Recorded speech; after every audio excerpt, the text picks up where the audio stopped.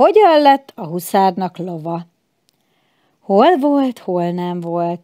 Volt egyszer egy huszár. Délceg huszár, híres vitéz hírében állt, de nagy volt a bánata, mert nem volt neki lova. Mégiscsak nagy szégyen, hogy egy huszár gyalog járjon. Azon tanakodott egyre, hogyan szerezzen lovat magának. Mit csináljon? Mit csináljon? El kellene menni egy lovardába, ahol nem pénzt kér a munkájáért, hanem lovat. Szorgalmas volt a huszár, nem félt a munkától. Talált is egy gazdát. Adjon Isten jó napot, gazduram! Fogadj Isten, fiam, aztán mi áradban? Munkát vállalnék. Örömest felfogadnálak, de bizony úgy leszegényedtünk a háborúban, hogy nem tudok fizetni. Nem is kérek más fizetséget, mint egy lovat. Egy lovat? De hát az én lovaim mind betegek, mind gyengék. Asszottak, soványak, hálni jár beléjük az élet. Egyet se féljen, gazduram, meggyógyítom én őket. Kezet ráztak, megszegődtek. Bizony elszorult a huszár szíve a beteg lovak láttán. Egyik gyengébb volt, mint a másik. Ezeknél jó étel kell, és jó gondozás, gondolta.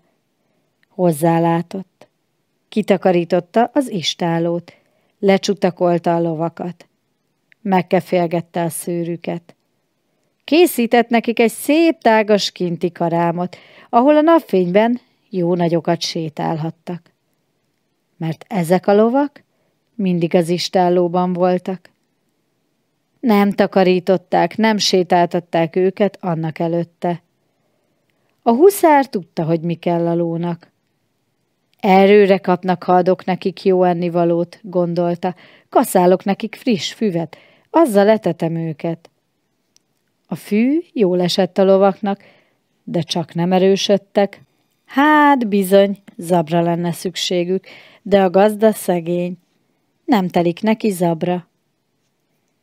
Mit csináljon, mit csináljon?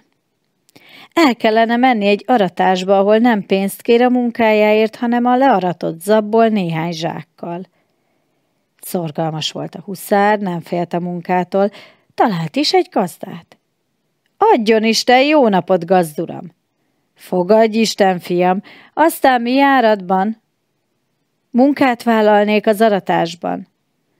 Örömes felfogadnálak, mert sok a munka, de bizony úgy elszegényedtünk a háborúban, hogy nem tudok neked fizetni.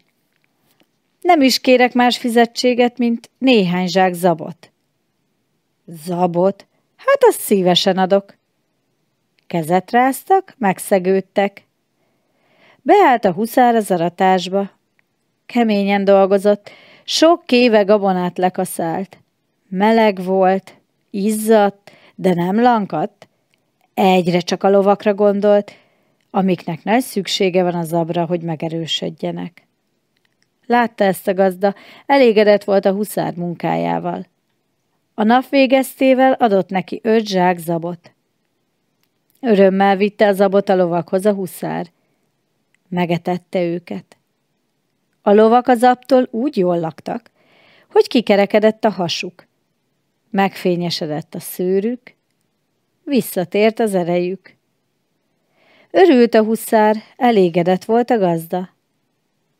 Megajándékozta a huszárt egy szép barna lóval.